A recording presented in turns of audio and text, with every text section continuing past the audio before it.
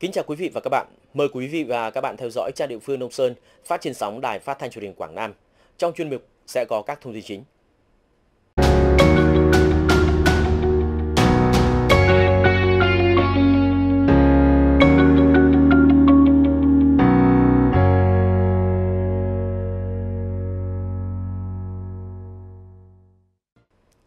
Sau đây là nội dung chi tiết.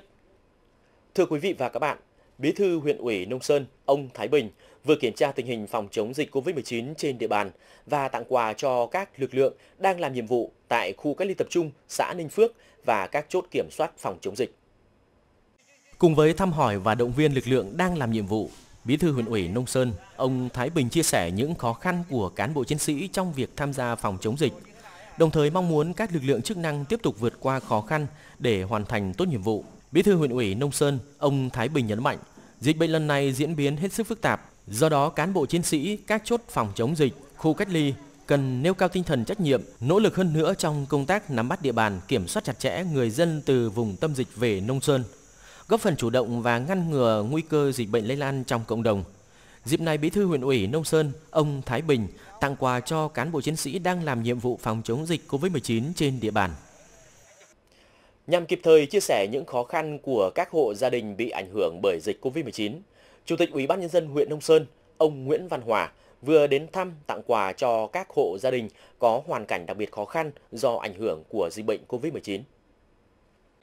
Cùng với lời động viên các gia đình khắc phục khó khăn, chấp hành nghiêm các quy định về phòng chống dịch bệnh, bảo vệ sức khỏe của bản thân và cộng đồng, Chủ tịch Ủy ban nhân dân huyện Nguyễn Văn Hòa tặng quà cho 10 hộ gia đình có hoàn cảnh đặc biệt khó khăn do ảnh hưởng của dịch bệnh tại xã Quế Trung và xã Ninh Phước. Mỗi suất quà gồm 1 triệu đồng tiền mặt và các nhu yếu phẩm thiết yếu. Những ngày qua, tình hình diễn biến phức tạp của dịch bệnh COVID-19 khiến đời sống của nhân dân, người lao động gặp không ít khó khăn. Do đó, việc hỗ trợ một phần về vật chất và tinh thần giúp đỡ các hộ gia đình vượt qua khó khăn trong đợt dịch. Cũng trong đợt này, bà Nguyễn Thị Thu Thủy, Phó Chủ tịch Ủy ban nhân dân huyện Nông Sơn đã đến thăm tặng quà cho các hộ gia đình đặc biệt khó khăn do ảnh hưởng của dịch bệnh COVID-19 tại xã Quế Lâm và xã Phước Ninh. Thay mặt lãnh đạo địa phương, Phó Chủ tịch Ủy ban nhân dân huyện Nguyễn Thị Thu Thủy đến thăm từng nhà, chia sẻ với các gia đình về những khó khăn vất vả trong đời sống thường ngày, nhất là trong bối cảnh dịch bệnh COVID-19 đang có diễn biến phức tạp như hiện nay – động viên các gia đình chấp hành nghiêm các quy định về phòng chống dịch bệnh, tiếp tục khắc phục mọi khó khăn, vươn lên trong cuộc sống. Phó Chủ tịch Ủy ban nhân dân huyện Nông Sơn Nguyễn Thị Thu Thủy tặng quà cho 10 hộ gia đình có hoàn cảnh đặc biệt khó khăn do ảnh hưởng của dịch bệnh. Mỗi suất quà gồm 1 triệu đồng tiền mặt và các nhu yếu phẩm thiết yếu. Được biết đợt này huyện Nông Sơn trao 30 suất quà cho những hộ đặc biệt khó khăn do ảnh hưởng của dịch bệnh. Để nắm bắt thông tin cụ thể, chỉ đạo kịp thời trong công tác phòng chống dịch mới đây, Phó Chủ tịch Ủy ban Nhân dân huyện Nguyễn Thị Thu Thủy, đồng thời là Phó trưởng Ban Thường trực Ban Chỉ đạo Phòng chống dịch huyện Nông Sơn, đã có buổi làm việc với tổ công tác tại cơ sở cách ly tập trung số 1, xã Ninh Phước. Báo cáo tại buổi làm việc cho thấy, cơ sở cách ly tập trung số 1 huyện Nông Sơn cơ bản đã ổn định, đảm bảo nơi ăn ở cho công dân thực hiện cách ly. Các lực lượng chức năng cũng tích cực tuyên truyền vận động công dân cách ly, tuân thủ các quy định tại nơi cách ly, cán bộ y tế và các đơn vị liên quan theo dõi sức khỏe từng người từng ngày theo giờ quy định. Phó Chủ tịch Ủy ban nhân dân huyện Nông Sơn Nguyễn Thị Thu Thủy đánh giá cao tinh thần trách nhiệm của tổ công tác tại cơ sở cách ly đã nỗ lực và tinh thần trách nhiệm không quản ngại khó khăn tham gia trực tiếp thực hiện nhiệm vụ được giao, góp phần nâng cao hiệu quả công tác phòng chống dịch bệnh COVID-19 trên địa bàn. Đồng thời yêu cầu tổ công tác cùng các ban ngành đoàn thể tiếp tục vận động các nguồn lực hỗ trợ công tác phòng chống dịch bệnh, đảm bảo vệ sinh môi trường, vệ sinh an toàn thực phẩm, bổ sung các tiện nghi cho cơ sở cách ly. Bên cạnh đó, sẵn sàng triển khai phương án khi số lượng người cách ly tăng lên, đảm bảo ổn định cho khu vực cách ly. Thưa quý vị và các bạn, mặc dù chưa ghi nhận ca bệnh COVID-19, nhưng cấp ủy chính quyền các ban ngành đoàn thể ở huyện Nông Sơn đã đồng bộ vào cuộc triển khai thực hiện nhiều biện pháp phòng chống dịch bệnh, đảm bảo an toàn, ổn định cuộc sống cho người dân. Để làm tốt công tác phòng chống dịch, huyện Nông Sơn đặt công tác tuyên truyền lên hàng đầu với nhiều hình thức đa dạng phong phú. Cùng với việc tuyên truyền trên sóng phát thanh, treo pano áp phích, phát tờ rơi, huyện Nông Sơn còn thành lập 29 tổ giám sát và tuyên truyền phòng chống dịch COVID-19 tại cộng đồng ở 29 thôn trên địa bàn. Tổ có nhiệm vụ đi từng ngõ, gõ từng nhà, ra từng đối tượng, vận động nhân dân thực hiện các biện pháp phòng chống dịch, tìm kiếm các trường hợp F1, F2 tiếp xúc gần với ca dương tính COVID-19. À, theo cái cái chủ trương kế hoạch mà xe lưu động đi à,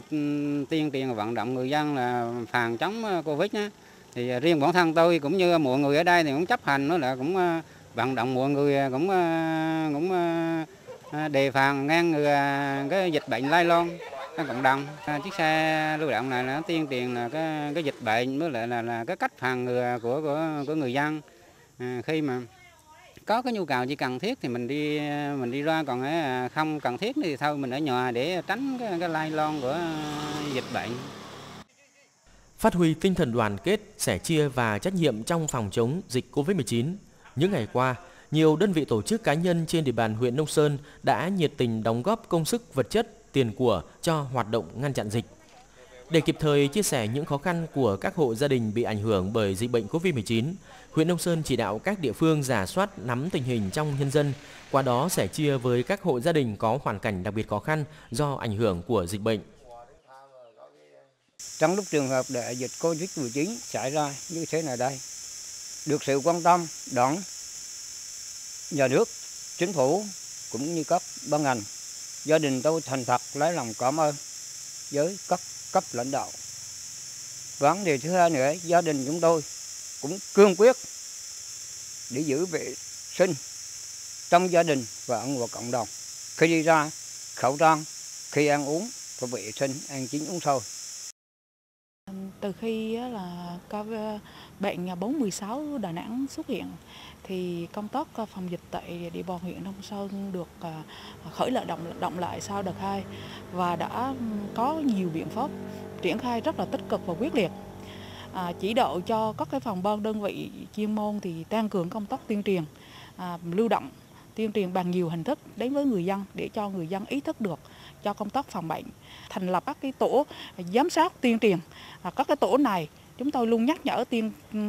tăng cường chất lượng hơn nữa các việc hoạt động của tổ này đi từng ngõ gõ từng nhà rà từng đối tượng để giám sát việc cách ly ở nhà à, của công dân à, về từ vùng dịch và tuyên truyền cho mọi người dân à, các cái biện pháp phòng chống dịch như là rửa tay bằng xà phòng, à, ăn uống, à, giữ gìn vệ sinh trong nhà, à, đi ra đường là phải mang khẩu trang và hạn chế tụ tập đông người.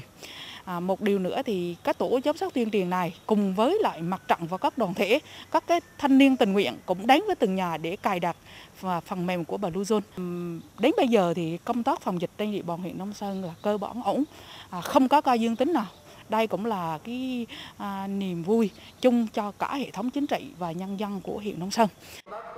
Nhờ triển khai thực hiện quyết liệt nhiều biện pháp và chủ động trong công tác phòng chống dịch bệnh, trong thời gian qua, tình hình dịch bệnh trên địa bàn huyện luôn được kiểm soát tốt, đồng thời mỗi người dân trở thành chiến sĩ tích cực, chung tay cùng cộng đồng tham gia phòng chống dịch bệnh.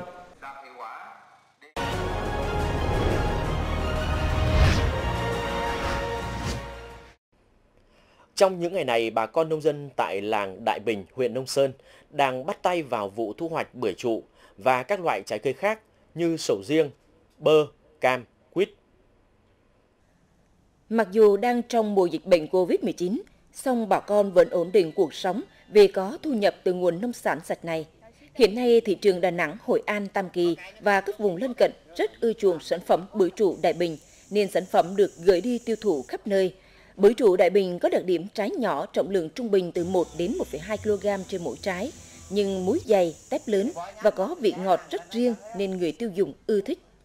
Năm 2017, huyện Nông Sơn xây dựng được mô hình trồng mới 2 hecta bưởi trụ Đại Bình. Năm 2018, bưởi trụ Long Đại Bình được Ủy ban nhân dân tỉnh đưa vào phương án thí điểm phát triển sản phẩm ô cốp theo chương trình mỗi xã một sản phẩm, từ đó phát triển chuỗi giá trị gắn liền với liên doanh liên kết, phát triển sản phẩm tập trung quy mô lớn theo hướng hàng hóa, tạo đầu ra cho sản phẩm. Thưa quý vị và các bạn, thời gian qua nhiều công trình kinh tế hạ tầng phục vụ sản xuất, đời sống dân sinh được xây dựng từ ý đảng lòng dân đã góp phần thúc đẩy kinh tế xã hội phát triển, đồng thời tạo nền tảng để Nông Sơn quyết tâm hoàn thành thắng lợi những mục tiêu nhiệm vụ trong chặng đường mới. Đây là tuyến đường giao thông thôn Tứ Nhũ đến Ủy ban Nhân dân xã Quế Lâm, được huyện Nông Sơn công nhận là công trình chào mừng Đại hội đại biểu Đảng bộ huyện lần thứ 25, nhiệm kỳ 2020-2025. Tuyến đường dài gần 2,2 km với tổng kinh phí xây dựng là 27,7 tỷ đồng. Công trình hoàn thành tạo điều kiện cho nhân dân và việc kết nối giao thương, tạo đà thúc đẩy kêu gọi đầu tư, khai thác tiềm năng lợi thế phát triển du lịch của xã Quế Lâm nói riêng và huyện Nông Sơn nói chung. Thì à, nói chung là tôi là một người dân của thôn Tứ Nhũ thì khi mà có cái đoạn đường này lưu thông thì à, tôi thấy là rất là phấn khởi, không riêng bản thân tôi mà cả người dân. Bởi vì à, nó mở ra một cái đời sống mới cho bà con, bởi vì thứ nhất là về cái không còn cái cái tình trạng mà mua đất bán rẻ. Rồi trước đây thì kinh tế rất là khó khăn nhưng mà mình mình mua vào cũng đắt mà bán ra cũng rẻ. Cho nên bây giờ là thấy bà con rất là phấn khởi về cả là sau này là phát triển về đời sống. À, kể cả là những cái à, lúc mà đau ốm cũng có xe cộ để đến nhà để mình chuyển vận chuyển là đi à, đến bệnh viện cũng nhanh hơn chứ cũng không còn cái cảnh mà đi qua đò giang nữa khó khăn nữa. Không riêng gì người dân xã Quế Lâm mà người dân ở xã Quế Lộc cũng hết sức vui mừng phấn khởi khi công trình giao thông liên thôn nối thôn Lộc Đông với thôn Lộc Tây dài 484 m có kinh phí xây dựng 5,3 tỷ đồng vừa hoàn thành và đưa vào sử dụng Tuyến đường được mở rộng giúp người dân thuận tiện trong sản xuất và sinh hoạt. Trừ nó rộng rẽ, ừ. trừ nó xón sửa nhau. Là đai câu ý nghĩa hả? Hồi trước nhà là đi cái đường đi buồn lắm đâu này. À, chứ trừ là nó rộng rẽ này, đi gần này đủ thứ. Ờ, trước đây khi mà cô đi thăm con ghế thì đi thế nào ạ? À? đi đi bộ đi chứ đi bộ đi mà đi mày lắm buồn khắm lắm trừ tiền sạch sẽ xuống được sự quan tâm của các cấp, các ngành ở tỉnh, cùng là sự lãnh đạo của ban thường vụ à, huyện ủy ủy ban huyện đã tổ chức triển khai thực hiện à, các các công trình đầu tư xây dựng cơ bản trên địa bàn huyện trong đó thì có đặc biệt quan tâm đến các cái công trình giao thông hạ tầng thiết yếu để mà phục vụ cho cái việc à, đi lại của nhân dân. Thì trong cái phát động chào mừng các công trình mà để xây dựng cho đại hội thì thì thì huyện đã chọn là ba cái công trình À, để mà, mà phát động thi đua chào mừng à, đại hội. Trong đó thì có thứ nhất là tuyến giao thông từ thôn Lộc Đông đi à, Lộc Tây, tuyến thứ hai là tuyến đường DH1 từ Quế Trung đi Quế Lâm, tuyến thứ ba là cái tuyến đường từ là thôn Tứ Nhũ đi đến xã Quế Lâm. Cái sự quan tâm của tỉnh cũng quyết liệt đầu tư cái tuyến đường này, nhân dân rất là vui mừng và và và, và cái việc giao thông đi lại của nhân dân là rất là thuận lợi kể cả trong cái việc phát triển phục vụ phát triển kinh tế xã hội trong đó thì có phục vụ cho cái việc phát triển du lịch trên cái địa bàn huyện Nông Sơn gắn từ ờ, cái, cái trung tâm huyện đến cái cái cái cái, cái thôn mà tận cùng thôn xa nhất của quý ban huyện hiện nay. Những công trình giao thông đưa vào sử dụng không chỉ tạo điều kiện để phát triển kinh tế xã hội, nâng cao đời sống vật chất và tinh thần của nhân dân, từng bước xây dựng huyện Nông Sơn, nông thôn mới mà còn mở ra cơ hội đánh thức tiềm năng du lịch sinh thái ở địa phương. Nội dung vừa rồi cũng đã kết thúc trang địa phương Nông Sơn, phát trên sóng đài phát thanh truyền hình Quảng Nam. Xin kính chào tạm biệt và hẹn gặp lại.